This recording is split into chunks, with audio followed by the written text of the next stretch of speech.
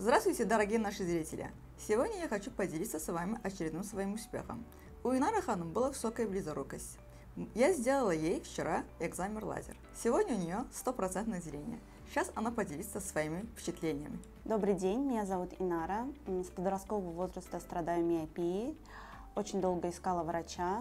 Эм, сестра посоветовала Гюльшан Ханом. Ну, теперь я здесь. Эм, теперь у меня стопроцентное зрение, за что я очень благодарна доктору.